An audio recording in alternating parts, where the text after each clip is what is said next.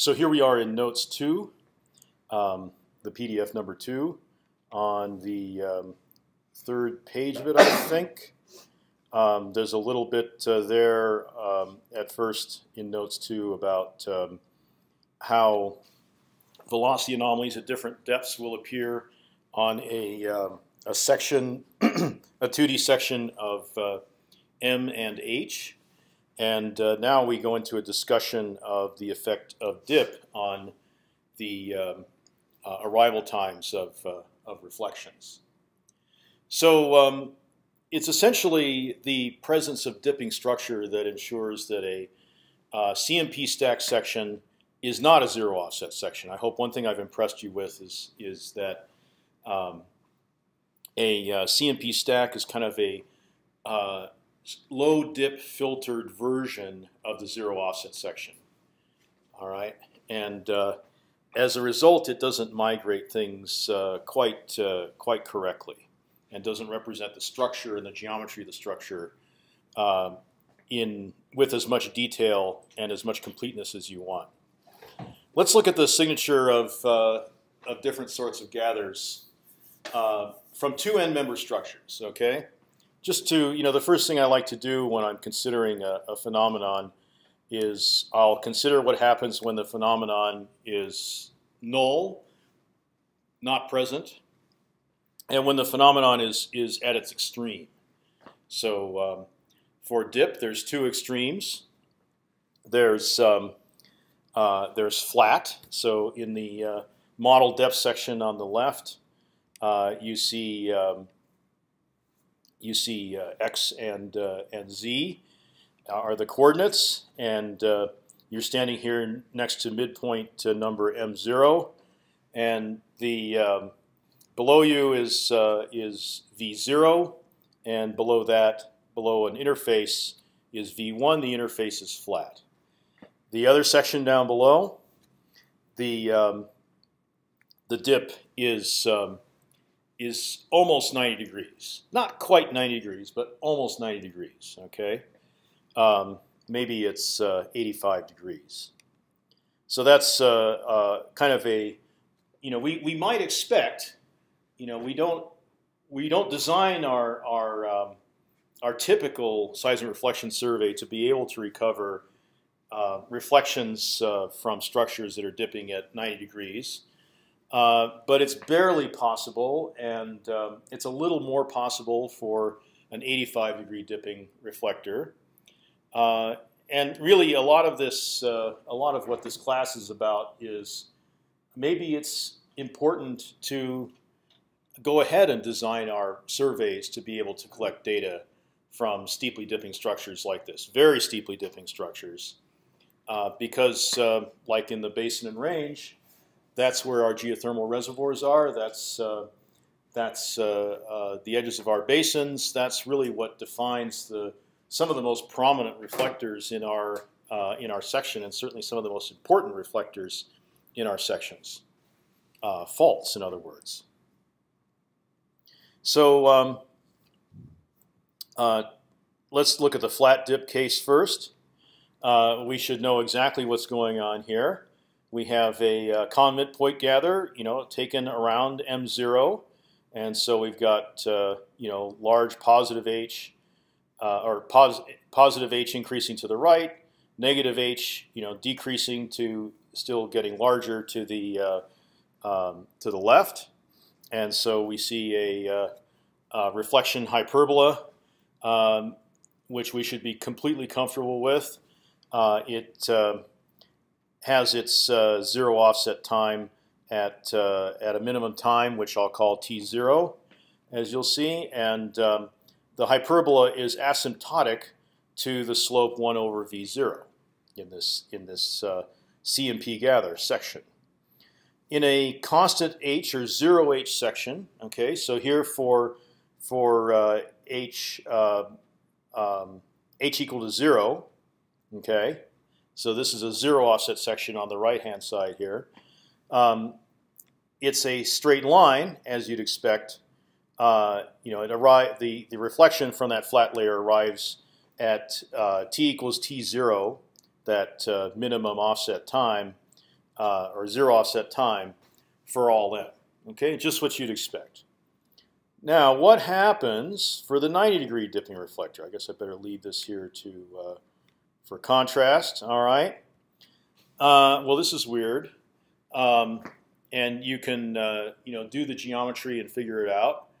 But basically, if we're close to um, uh, you know we're more than 85 degrees dip in a CMP gather, okay, uh, the arrival time of the reflection uh, you know, and we're observing from uh, m0 here, and it's dipping. Uh, it's dipping just slightly towards uh, the midpoint we're observing around. Okay, the um, the arrival time for every offset is the same. T equals t zero. And if you think about how you know the uh, uh, you know, you open up the offset and the source goes back here and the receiver goes up here, and the uh, the wave is traveling uh, pretty much horizontally. The reflection wave is traveling pr pretty much horizontally, you know. So uh, from zero offset, we get one time. We get this, that zero offset time, you know, to the right and then back to the left. And if we put the source to the left and the the receiver an equal amount to the equal distance h to the right, we're going to have the same uh, same total distance okay, and thus the same time. So uh, maybe that's something to start to accommodate ourselves to, is that in the CMP gather, um, when we have the maximum dip, we're going to have a flat reflection. Arrives the same time at every midpoint. Now, uh, before you uh, before you ask, um, I'm going to tell you that this is is of course just for the case where all the sources and receivers from that about that uh, midpoint m0 uh, are on the same side of the fault. You go over the fault, and you know something else happens. Okay. Should, shouldn't the arrival come sooner as the receiver moves towards the fault? Yeah, but the source is moving away from the fault. But the source only has to move is a one-way time, but the receiver would be a two-way time distance. Well, well, think about the think about the situation. We start here at the source. Yeah. Okay. We go, you know, the distance from m0 to the fault plus h. Okay. We bounce off the fault. We come back horizontally to the receiver, which is the distance to the fault from m0 minus h. So you add the two together, and it stays the same. Okay, well, here's another piece of weirdness for you to uh, wrap your wrap your heads around. Took me a long time to figure this out. Um, in a zero offset gather, and in fact in any constant h uh, gather, this vertical reflector is not vertical. Okay, it's actually going to appear, and and here's the the midpoint, you know, right there where the uh, where the reflector daylights. Um, in the zero offset reflector, the um, um, the uh, uh, at the in the zero offset section, the reflection is a straight line, but it's not vertical. It's at slope one over v zero. Just like the flat one is asymptotic to one over v zero in the uh, um, in the CMP gather. All right, so these are the end member situations. You know, a dip of 45 degrees, is going to be more or less halfway in between. All right. Uh, any dipping bed in two dimensions. Okay, that there, you know, you have uh, beds that are dipping offline or cross-line, and there's you know other things that happen as well. But in two dimensions, or for um, you know dip lines in cylindrically symmetrical uh, geology, um, you know that has uh, uh, constant strike, and we're and our 2D survey is, is always on the dip line. Okay, In this situation, we'll get sections that are in between the two here. So um, even a very steep reflector cannot produce a CMP gather with the arrival at a negative move out. Okay, um, if you've looked at, uh, you know, certainly any of my data sets from the uh, Great Basin, um, you will have seen uh, reflections that are at negative move out. Diffractions, reflections at negative move out. In other words, the wave is propagating back towards the source. That's because you're looking in shot gather, not in CMP gather. Okay. So um, let's uh, uh, let's use our uh, midpoint offset coordinates, and you know get a travel time equation uh, and a an NMO equation for um, uh, for the uh, um, for the the dipping bed. Okay, so I'll write it like this. Um, M is the the M we're observing from. Uh, M0 is the uh, uh, the midpoint that the dip the dipping bed daylights at. So it's actually just a slightly different. It's not exactly this diagram here. Okay. Um, and um, uh, we have uh, t squared v squared. Uh, this is constant velocity, of course. 4 times uh, uh, m minus m0 squared, quantity squared, times sine squared alpha, which is the dip, plus 4h squared cosine squared alpha. Okay. Uh, now, for in a CMP gather, m is fixed and h varies. So uh, you know we kind of uh, you know m minus m0 is going to be a constant and we'll just absorb that into here as a delta m. So then t squared, trying to make it look like the NMO equation, right? t squared is uh, 4 delta m squared over v squared times uh, sine squared alpha plus 4h squared times the ratio of cosine squared alpha over v squared. Okay, so if I take uh, this uh, first term here as t0 uh, squared, okay, so T0, and, and you can see the mistake I made, right? T0 itself is 2 times delta m over v times sine uh, alpha, okay? And so that's a constant for this um, for this. Uh, uh, um, uh, that's a constant for this uh, dipping for the CMP gather. Okay.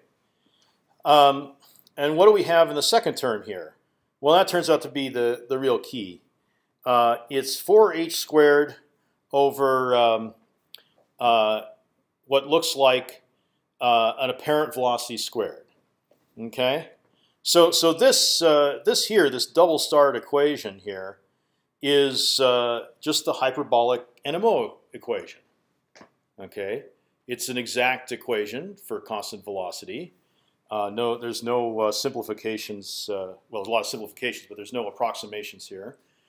And the um, the NMO equation is um, uh, that you're familiar with for zero dipping uh, events is like this. So really, the difference is in the calculation of t zero, and also in in you know what is this apparent velocity v sub ap, um, or v sub a if you like. Uh, the apparent velocity is the real velocity divided by the cosine of the dip.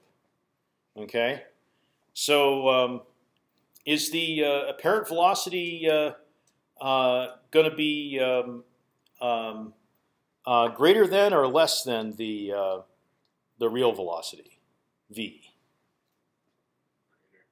Yeah, equal or greater, right? And when is it equal to v? Exactly.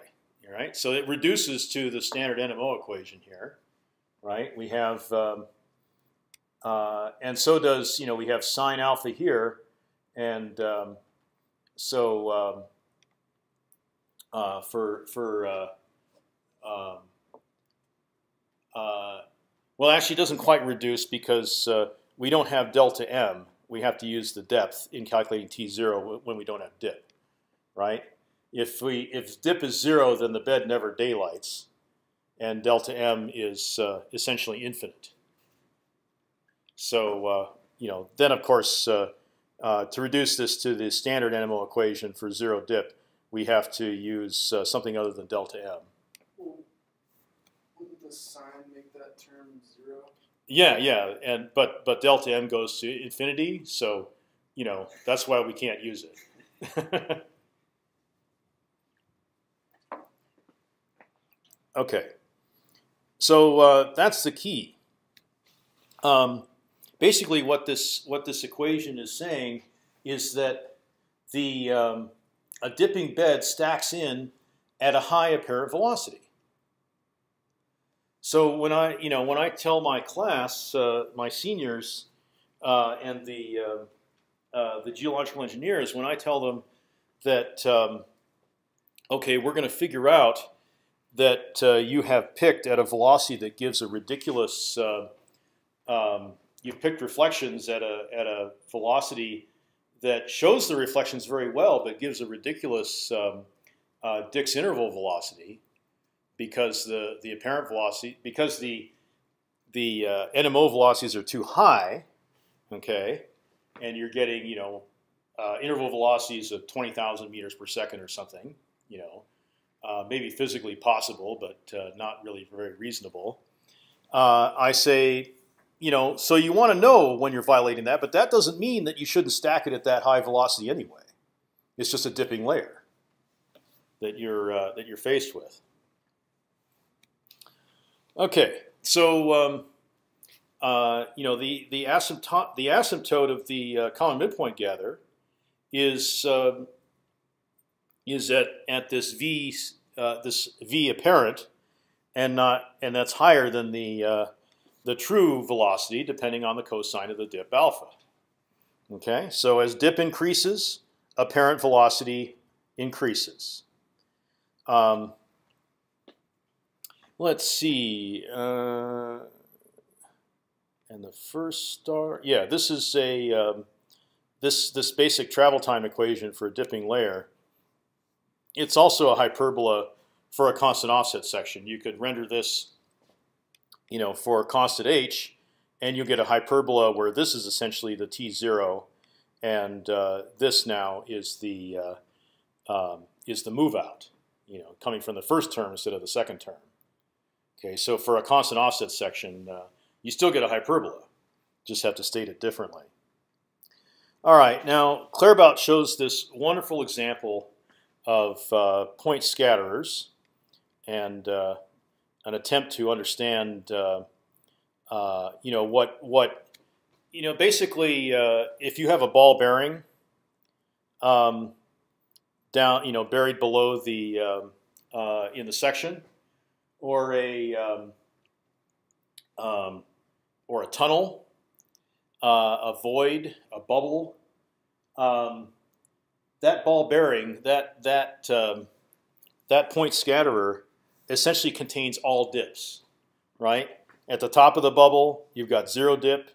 At the uh, at the sides of the bubble, you've got 90 degree dip, right? So if we could figure out if we could figure out how a point scatterer reflects and what time the reflection is going to come in, then we could figure out anything because any structure is just, you know, a uh, uh, uh, in in, in I'm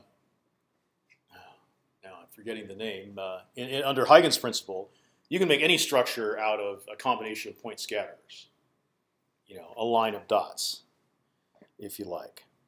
So we have uh, we have mo we have the location uh, on the x-axis of the uh, the point scatterer. So the point scatterer is at x and depth z. Okay, here's two different point scatterers at different x's and different z's. Okay, we have our source location on the x-axis s, and our receiver location on the x-axis g. Um, the midpoint m0, um, and uh, offset h. Here's the full, uh, you know, the, as you can see, very simple Pythagorean theorem. Okay, uh, this is the three-star equation. Um, in the uh, in common midpoint, we're going to find that uh, what we have are hyperbolas or hyperboloids, sometimes even becoming triangles, uh, you know, or A's anyway. Um, the top uh, slanted parts of a triangle, uh, and they're all centered at which I haven't drawn very well, but they're all centered at 0h. That's in the common midpoint gather. in the constant offset gather or the zero offset gather, uh, they're again all hyperbolas sometimes, or these flattened hyperboloids. All right, that's what this equation describes. So this response is important, um, and uh, uh, let's try to understand it in the terms of our stacking chart. So we have a um, uh, uh again uh, we uh, we're in a 2D world, right? This obviously this equation is only two dimensions, right? So you introduce the y direction, and you've got to add another another term to the to the Pythagorean solution here. Um, you know, so you could explore that. Um, so we can, but since we're looking at 2D, and that's all we're trying to understand right now, 2D world, um, we're going to locate this point scatterer somewhere on the m axis, right?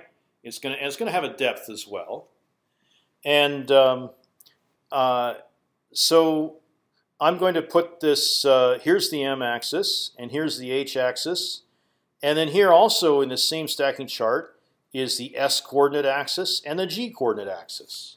Okay, and um, and then here are the directions.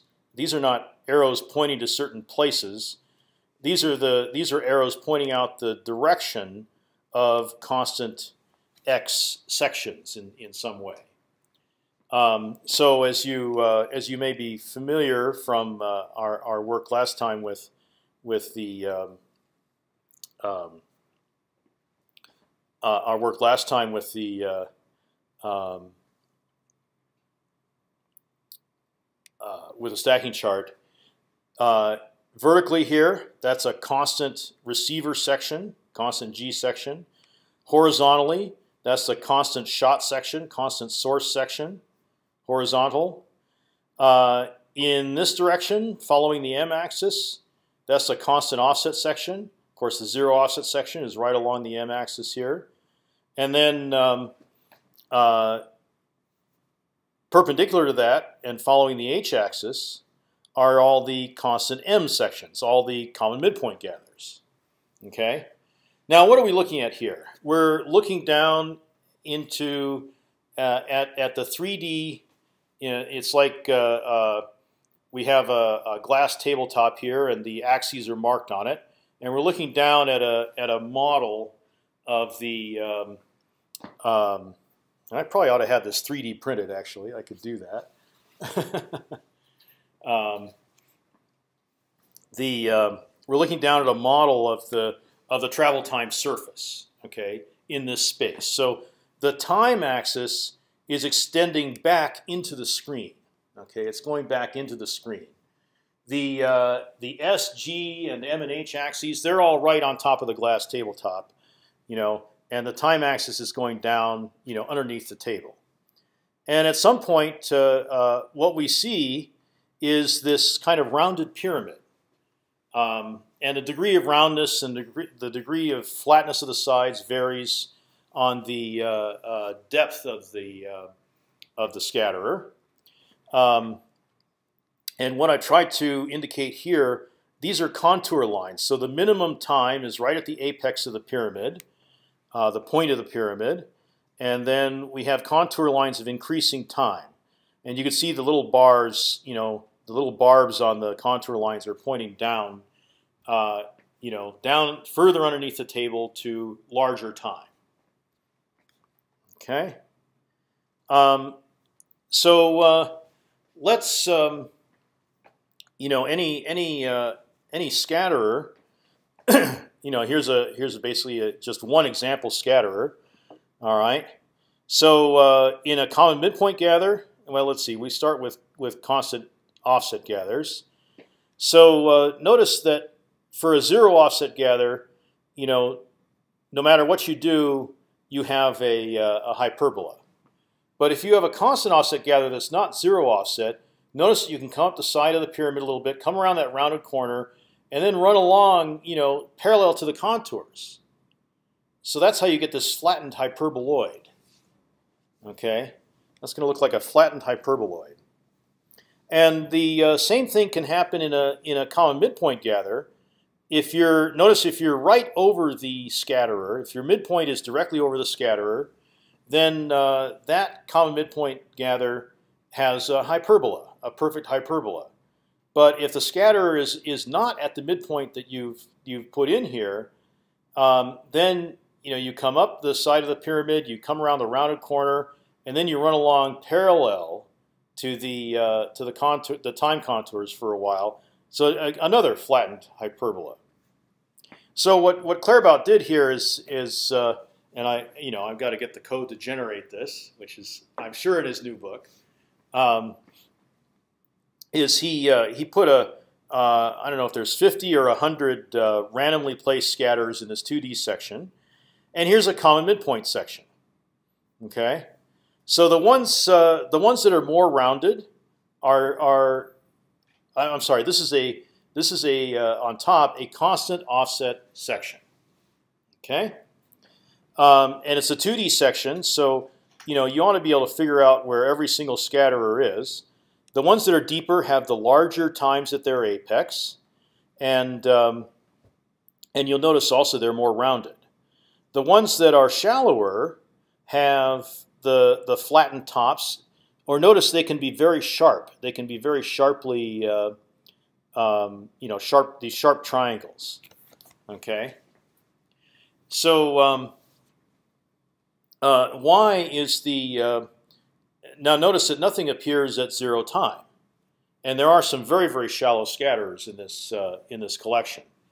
Well, nothing's at zero time because h is constant and not zero. It's got some finite, uh, you know, it's a finite offset section. So there is some minimum travel time, you know, because there's a, a minimum offset, you know, which is which is this h constant offset. Okay, let's uh, let's look at a um, a common midpoint gather. All right, I'll, I'll go to the the middle one here first or second. All right. Um, the ones that are um, uh, the ones that are nice hyperbolas, of course, you know the thing. The first thing to notice here is that all the hyperbolas, all the hyperboloids, whatever shape they are, they are all very nicely centered around um, zero offset. That's this axis. You know, the, they're centered around the time axis here at zero offset. And notice they're all asymptotic to the same constant velocity. So even even in the case where um, where we we have um, uh, where we don't have a good hyperbola, where we have one of these you know severely flattened hyperbolas, and the flattening comes about because the scatter is located at a midpoint that's different from the midpoint that we're taking this gather from. Okay, so so that we get this flattened hyperbola we could still estimate the velocity, right? If we don't if we don't bother to, you know, notice that the time it comes in is is you know it's not a vertical it's not a vertical travel time. It's really a horizontal travel time. Uh, so the you know if you if you take the the minimum time of that reflection and you calculate a um, and you calculate a depth, you're going to be way off. It's going to come out you know way deeper than it really is. Okay. Uh, but if you determine velocity based on the uh, uh, on the the legs of this hyperboloid, you know, despite its flattening at the top, the legs still are asymptotic to the correct velocity. So you could still get velocity information out of those, amazingly enough.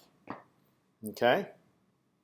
Um, and notice you can still in the in the constant offset section, you can still get even from these flattened hyperboloids, you might still be able to figure out where the middle of it is, and thus you have the lateral location, you know, nailed of that scatterer.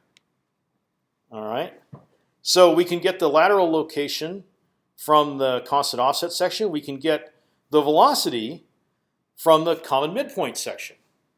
And this is why common midpoint sections are used so much because they still they give you the velocity information. You know, all through 706, we were wondering, well, how do we get the velocity? Okay, and I didn't tell you much about that. This is the this is the way it's been done. Okay, and why CMP and CDP, you know, became a standard. It's that it's that useful. Okay, uh, you know, still can't get depth unless you can determine you have a nice hyperbol hyperbola, and so that scatter is almost directly underneath that midpoint. Uh, now look what happens uh, to the, um, you know, this is a constant off. This is a, uh, a, constant velocity section, right? And these are just simple scatterers. Look what happens if you uh, do the NMO correction at the correct velocity. Okay, the the the ones that are the the scatters that are directly underneath the um, directly underneath the um, um,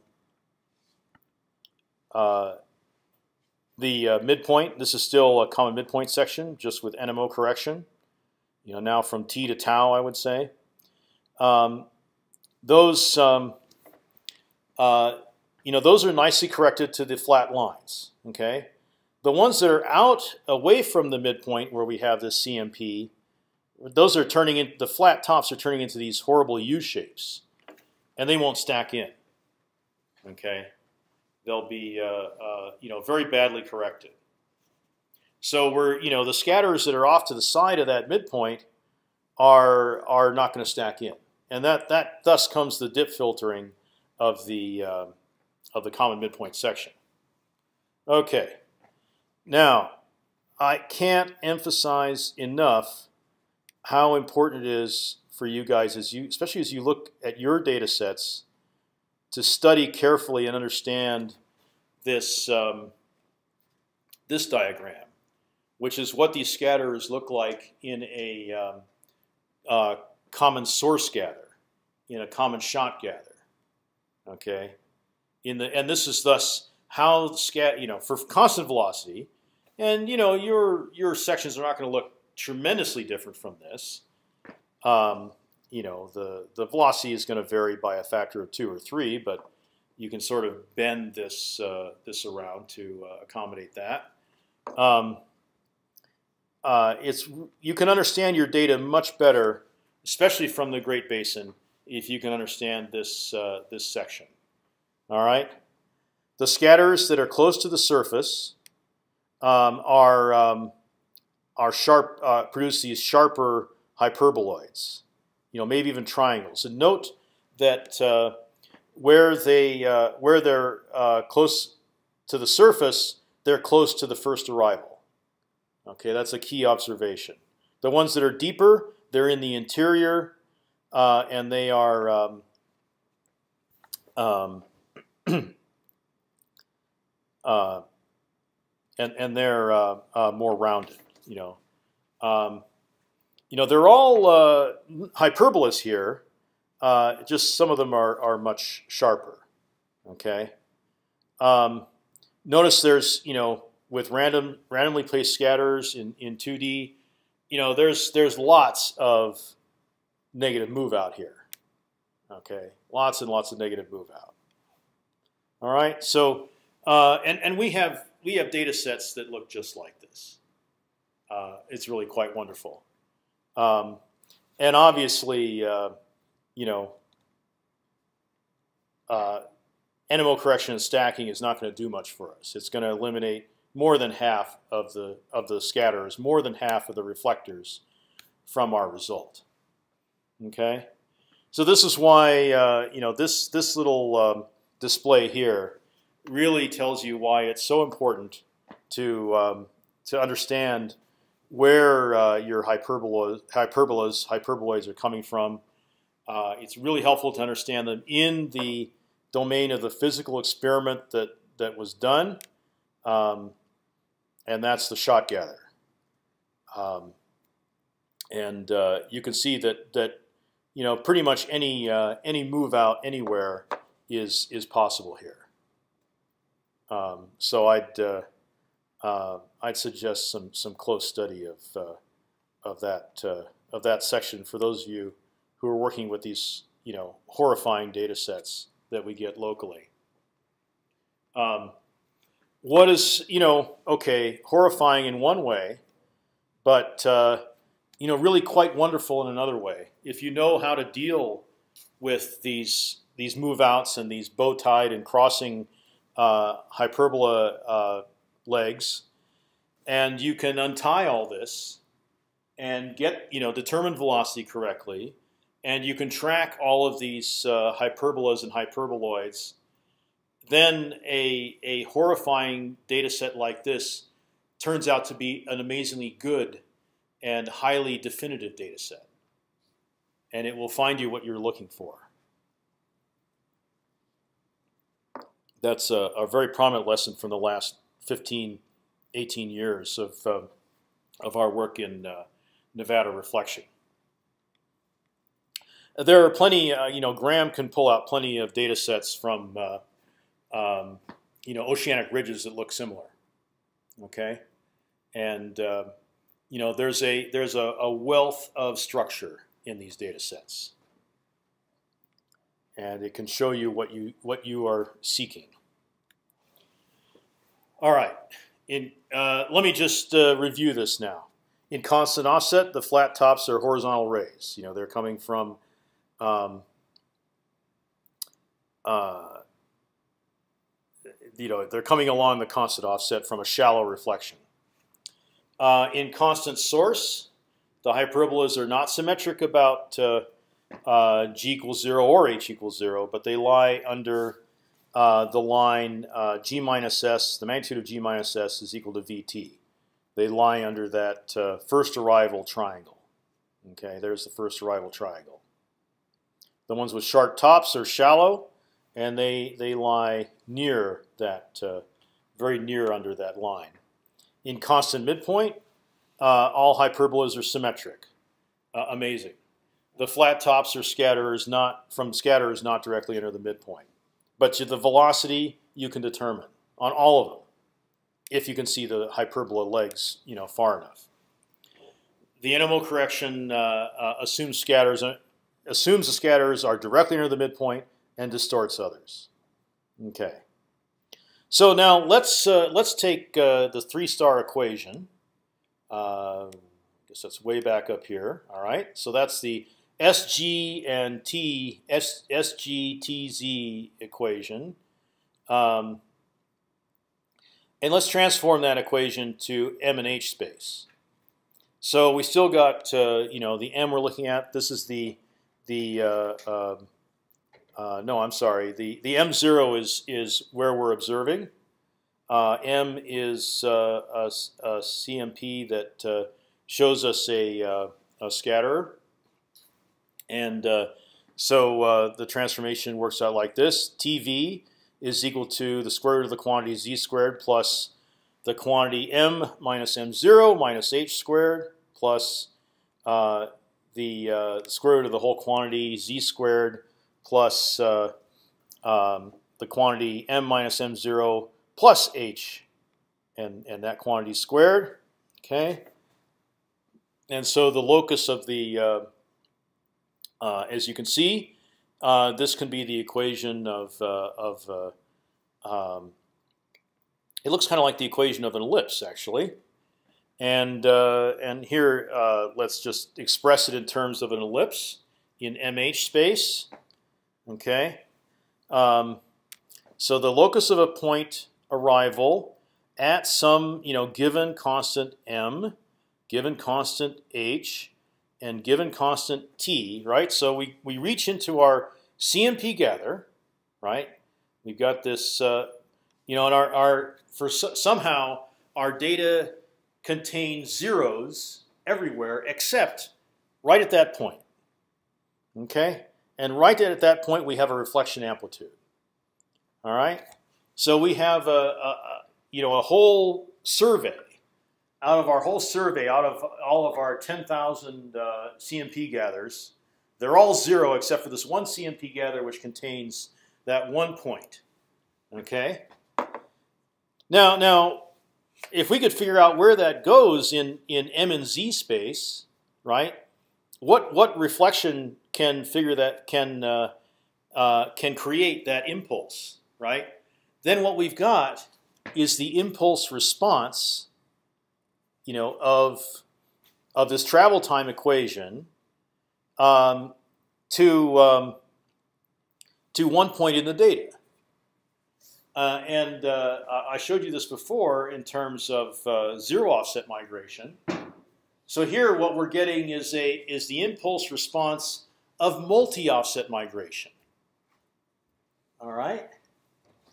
Uh, the equation that that uh, controls this, and actually that is going to become the uh, um, uh,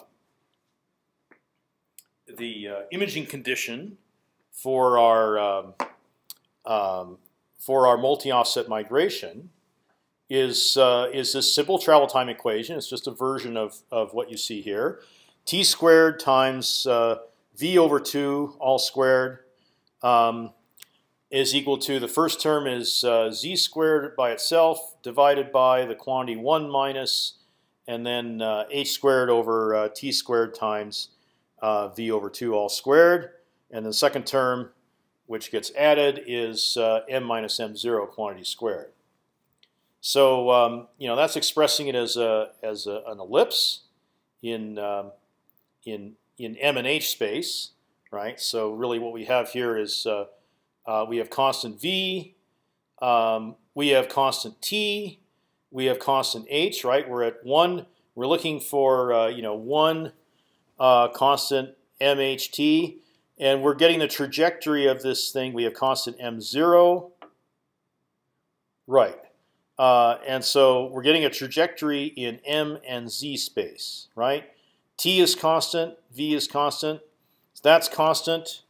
Uh, that that uh, the denominator of the first term is to the right is constant.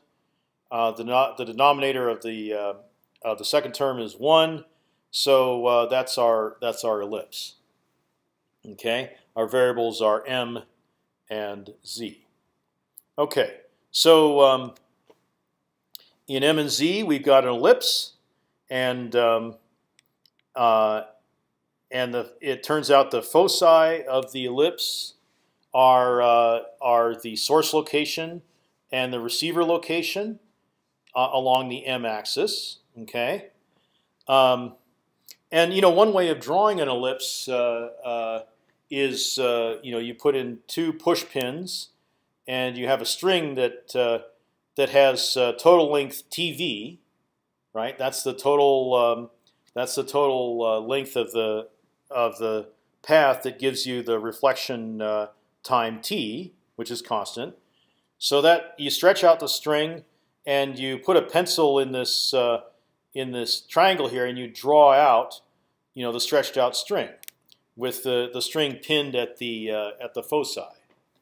And what do you get? You get an ellipse. Okay, I don't know. They still do that exercise in uh, in grade school anymore when they're teaching you about uh, ellipses. Um, I don't know. I don't know if I ever did it in grade school, but uh, I read about it. um, maybe only in. Uh, um, I had a spirograph though. Yeah, so there's this kind of similar uh, concept. Yeah. Okay. So um, uh, this is exactly the same way that we built up our zero offset migrations from geometric descriptions of the impulse responses of, um, of migration and diffraction. Okay, so uh, I'm actually going to end on time today. Um, we're um, uh, and and and in fact, at this moment, we now have a multi-offset migration, and this is actually my favorite method.